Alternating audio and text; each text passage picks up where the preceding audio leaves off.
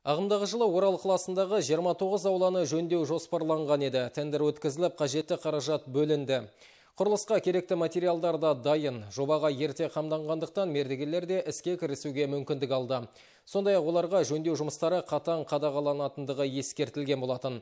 Осы орайда депутаттар өз сайлау округтеріне барып, тұрғындардың құрылысқа қатысты пікірлерін тыңдады төртінші және алтыншы ықшам аудандардағы бірқатар үйлердің ауласын абаттандыру жұмыстары басталып та кетті. Депутаттармен кездескен тұрғындар аулаға қатысты шағымдарын жеткізіп ұсыныстарын білдірді. Қонаев көшесіндегі нөмірі алпыс сегізінші үйдің ауласына ұзақ жыл бойы жібі түзу жөндеу жүргізілмеген. Жауын шашынды күні есік алдына шалшық жиналып қозғалысты қиындатады. Арнайы арықтар қазылмаған. Жарықтандыру мәселесі де тұрғындардың жүйкесін жұқартыпты. Елемес мырзағалиев бұл көпқабатты үйге жеті жыл бұрын көшіп келген. Сол уақыттан бері аулаға жарық орнатылғанын көрмедім дейді ол. Қалған дворға барып қараймын бәрінде освещение бізде бір бір лампочка жоқ. Единственное мына аптектің освещениесі анау реклама. Сонымен тұрмыз біздер сосын мынау мынау освещениені өзіміз қойдық. Мына тұрған.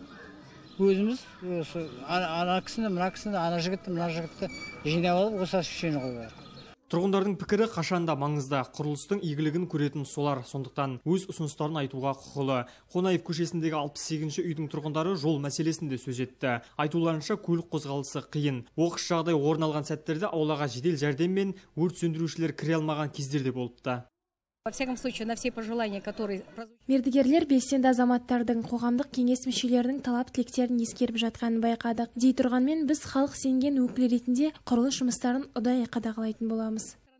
Ағымдағы жылы қаладағы 29 ауланы жөндеу жоспарланған. Ал балалар ойын алаңын салу үшін қосымша қаржы бөлінетін болады. Және бұл жұмыстармен өзге компаниялар айналыспақ. Еркебұлан смадияров алмас әдиетов нұртай батырғали ақжайық телеарнасы.